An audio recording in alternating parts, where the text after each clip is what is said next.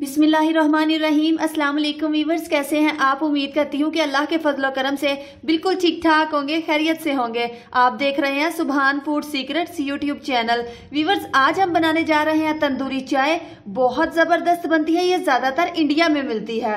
लेकिन आज हमने सोचा क्यों ना अपने प्यारे प्यारे व्यूवर्स के साथ इस चाय की रेसिपी शेयर की जाए। लेकिन रेसिपी को शुरू करने से पहले आप सभी से एक ही रिक्वेस्ट करूँगी कि चैनल पे नए हैं तो चैनल को ज़रूर सब्सक्राइब कर दीजिएगा और वीडियो को लाइक करना आपने बिल्कुल भी नहीं भूलना। ये बेसिकली आप लोगों की तरफ़ से हमारे लिए एक इनाम होगा। हमारी हौसला अफजाई होगी कि हम काम बेहतर कर रहे हैं। चलिए बिस्मिल्लाह करते हैं, तंदूरी चाय बनाना स्टार्ट करते हैं।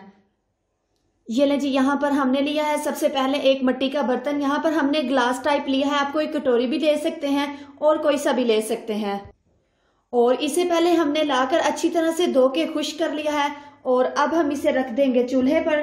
फ्लेम को ऑन करेंगे और इस बर्तन को हम इतना पकाएँगे कि सबसे पहले ये ब्लैक कलर में आएगा और बाद में ये रेड कलर का हो जाएगा। इतना यहाँ पर हम इसको पकाएँगे कि इसका कलर चेंज हो जाए। मीडियम फ्लेम पर हमने इसे रख दिया हुआ है और अब हम इसकी साइड को चेंज करते जाएँगे। यहाँ पर हमने तकरीबन इसको 20 मिनट तक मीडियम फ्लेम पे अच्छी तरह से गर्म कर लेना है।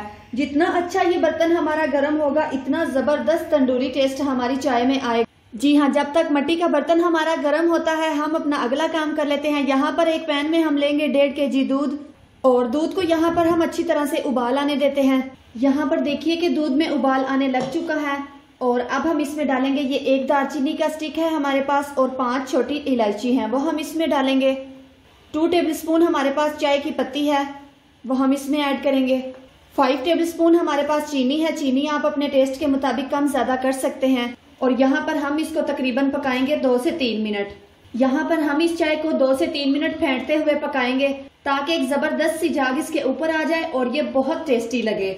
ये देखिए, यहाँ पर दो से तीन मिनट हो गए हैं चाय को पकते हुए और ज़बरदस्त सी चाय हमारी रेडी है। और अब हम इसे छान लेते हैं और इसे एक ज़बरदस्त सा तंदूरी फ्लेवर दे देते हैं। ये लें जी, दूसरी तरफ़ आप देख रहे हैं कि हमारे बर्तन को मीडियम फ्लेम पे पकते हुए 20 मिनट हो चुके हैं और इसका टोटली कलर चेंज हो चुका है। यहाँ पर शायद आपको कैमरे में नज़र आ रहा हो, यहाँ पर आप देख सकते हैं कि ये रेड कलर दे रहा है। इसका मतलब ये बहुत अच्छी तरह से गर्म हो चुका है। हम इस बर्तन को यहाँ पर चूल्हे पे गर्म कर रहे हैं। इंडिया में जो लोग होते हैं, वो इसे तंदूर में गर्म करते हैं। लेकिन हमारे पास तंदूर नहीं है, हम चूल्हे से ही काम चला लेंगे। ये ले जी, अब यहाँ पर हम इसे एक ज़बरदस्त सा तंदूरी फ्लेवर दे देते हैं। बिस्मिल्लाहिर्रहमानिर्रहीम।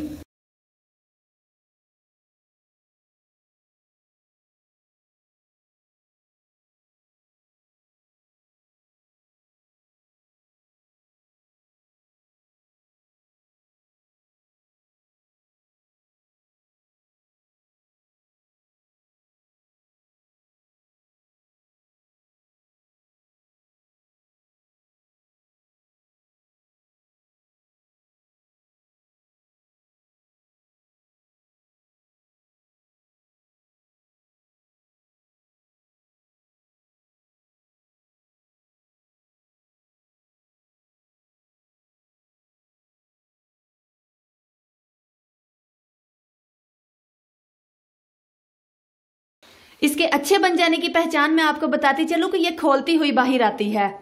ये लें जी, ज़बरदस्त सी तंदूरी चाय रेडी हो चुकी है। इसको एक मिनट तक इसके अंदर रहने देंगे ताकि ज़बरदस्त सा तंदूरी फ्लेवर आ जाए। एक मिनट हो चुका है, चलते हैं। अब हम फाइनल लुक की तरफ़ आपको इनको कप्स में निकाल के दिखाते हैं कि ये कैसी बनी है। तो ये ले जी, माशाल्लाह, अल्हम्दुलिल्लाह अल्हम्दुलिल्लाह, ज़बरदस्त सी तंदूरी चाय बनके तैयार हो चुकी है। गर्मा गर्म तंदूरी चाय मेहमानों के आगे सर्व करें, इंशाल्लाह उन्हें ज़रूर पसंद आएगी। मेरे कहने पे आप इसे ज़रूर ट्राई कीजिएगा और मुझे फीडबैक ज़रूर दीजिएगा। उम्मीद करती हूँ आपको आज की वीडियो बहुत ज़्यादा पसंद आई होगी। वीडियो अच्छी लगी हो इसे लाइक करिएगा। मेरे चैनल पे नए आए हैं सब्सक्राइब किए बिना मत जाइएगा। अपनी दुआओं में याद रखिएगा। मिलते हैं इनशाला नेक्स्ट वीडियो के साथ नेक्स्ट रेसिपी के साथ। तब तक रखना है आपने अपना ढेर सारा ख्याल। दुआओं में याद रखना है, हँसते रहिएगा, मुस्कुराते रहिएगा, यूँ ही आप हमारे साथ साथ रहिएगा। अल्लाह हाफिज।